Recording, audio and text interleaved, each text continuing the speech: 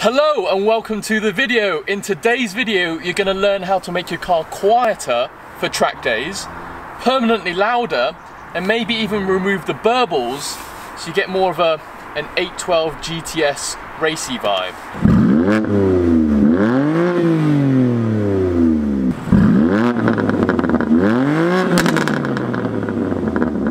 So if you see my last video I've recently uploaded, 25,000 miles with this M2 competition. In that video, I discuss some of the things that I've learned since the ownership of that car and my PCW exhaust that I've installed on the M2. Now, that exhaust has been absolutely fantastic. It's made the car very, very loud.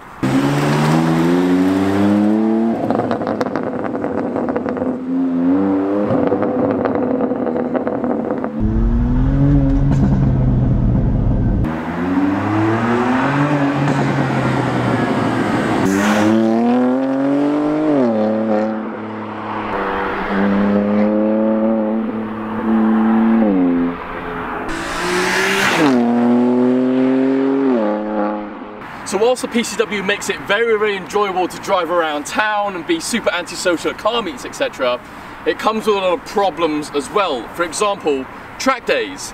Now, the recent Bedford track day that I did, the noise limit is around about 96 decibels, and this puts out about 102 decibels.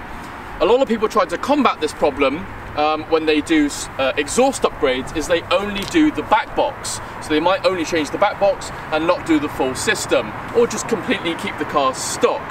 For me personally, I still wanted a proper exhaust system. I still have OPFs to be clear, but I wanted a full system so it could still be loud and antisocial. So, to be able to do that and solve the track noise limit problem, I'm going to show you today how I've done that. Also, I'm going to teach you today how to remove the burbles on my M car and how you remove burbles on M cars completely altogether. Disclaimer, this isn't a permanent solution. We're going to be using an app on my phone where you basically turn the features on and off. So whatever I do today, I can always reverse them. I can put it back to stock if I want to. Just play around the features as and when. The reason a lot of people like to remove burbles on their car is that removing them gives the car more of a racy vibe. So think of like a Porsche GT3 or Ferrari 812. When you rev them, they don't go burble, burble, burble.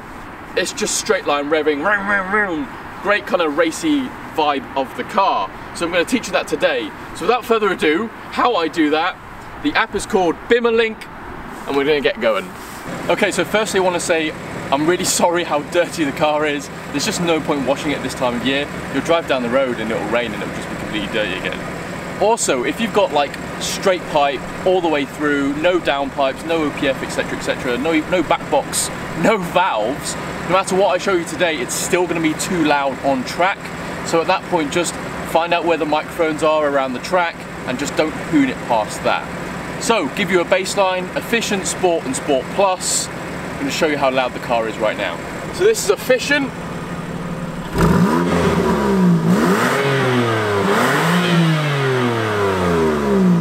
This is sport.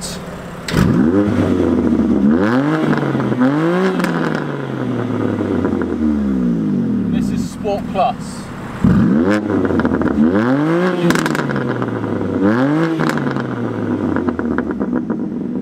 Very loud. Okay, in order to use BimmerLink, um, you need to have this, an OBD adapter. Um, I'll put a little link down below in the description or a screenshot of the one I've got. This is a V-Gate um, OBD2. Essentially this uses Wi-Fi to connect to my phone. Now, I'm screen recording on my phone now, um, and I've got, as you can see, three apps on my phone, BimmerLink, BimmerCode, and BimmerPost. BimmerPost is a, a, a forum for BMWs. You can use BimmerCode and BimmerLink, but BimmerCode is more about changing kind of the features within the car, so making sure that start-stop function is off by default when you start the car on, um, when you put the car into the reverse, the, the lights come on on the seats, that's BimmerCode. BimmerLink has some of the features in BimmerCode, but it also has features that BimmerCode doesn't have. So for example, um, ASD, so the fake sound within the car, that's within the two apps. You can turn um, fake sound off um, on either app. Now I've done that on Bimmer code and so I don't touch it on Bimmer link because I don't want to mess with the two apps, turn one off on one and turn, the up, turn it on again on the other app. I don't want to just mess with it at all. So I use Bimmer link for turning the burbles off and keeping the flaps permanently closed or permanently open. So this was about 25 pounds from Amazon. Again, I'll link it down below.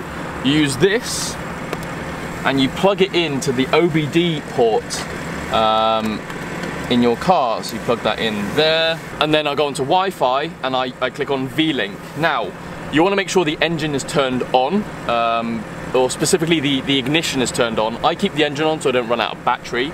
And then you also want to make sure that you're basically in airplane mode. Um, I need to turn Wi-Fi back on. You want to be in airplane mode so in case someone texts me or a phone call comes in, etc., it ruins the coding within the car. I don't want that to happen. I don't want it to disrupt it at all. So I go into airplane mode, go into Wi-Fi, use V-Link and connect to the OBD adapter. So my phone has now connected to my OBD adapter and I'll go over to Bimmerlink and I'll click connect. So my phone is now connected to the OBD adapter. I've now connected to Bimmerlink and this is the, uh, the home screen that you're welcomed with. I'm going to be sharing my screen on here anyway because it's probably quite bright. The two features that we're going to be focusing on today is exhaust flaps, opening and closing them permanently, and you can also see I've got them in auto right now.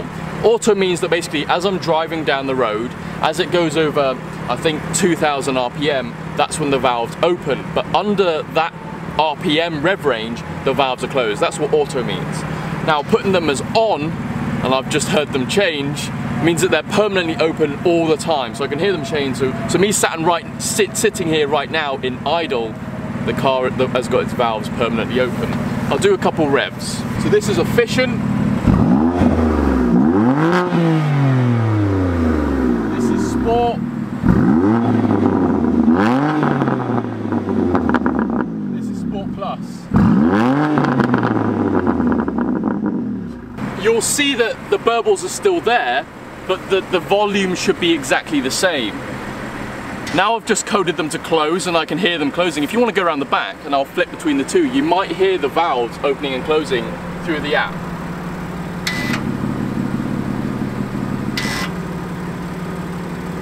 One more time. So the valves are now permanently closed. So, if I put the car into Sport Plus, it should burble but the valves are permanently closed. Quite an interesting concept, right? So now the car is actually a lot quieter, but I'm still getting burbles because I haven't coded burbles out. So now we're gonna go to sound tuning, and that's where you code the burbles on and off. So if I turn them to off, I'm still in Sport Plus, valves are still permanently closed, now take a listen.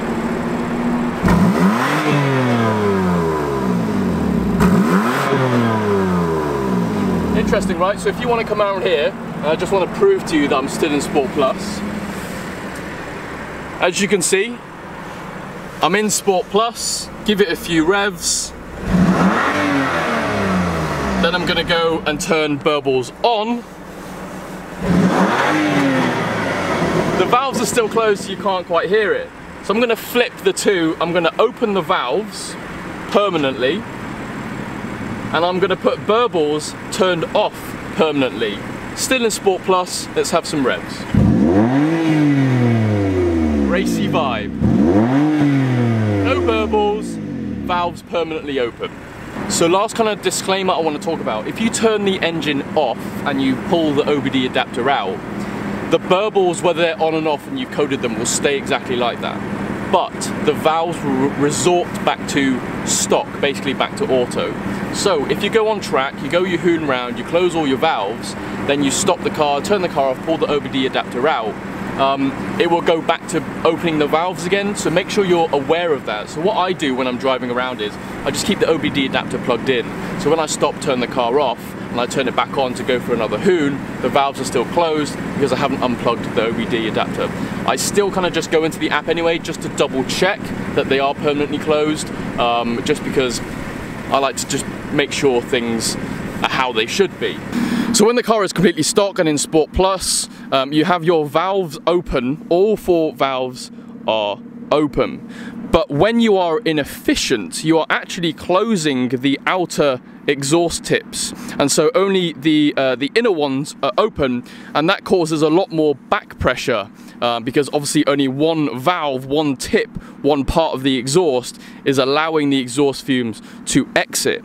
Now with increased back pressure a whole day on track um, it has heated up the center section of my exhaust which I had painted black. So you can see here.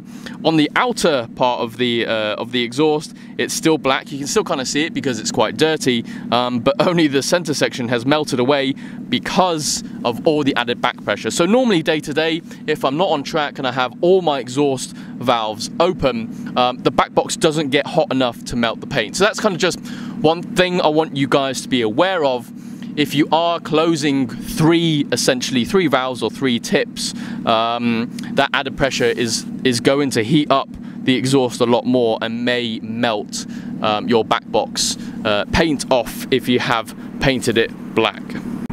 Okay, so that's very bright in my eyes. I'm just gonna leave the camera here. Bimmerlink is the app that you need and an OBD adapter to do everything I've shown you in the video. Turn the burbles off, close the valves permanently, have a play around. Remember, if you remove the OBD adapter, the valves will go back to standard, but the burbles should remain off. Thank you very much for watching. Like, comment, subscribe, the usual. If you're new, like, comment, subscribe as well, and I'll see you later in the next video. Efficient.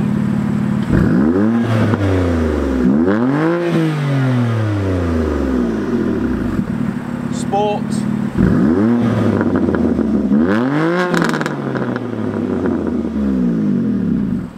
Sport Plus.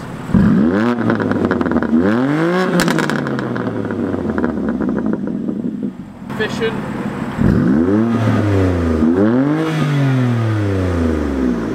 Sport.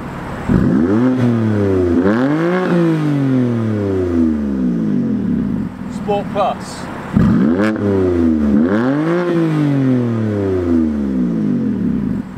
Efficient.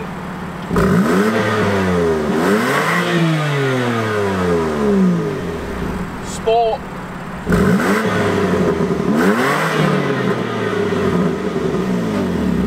Sport Plus.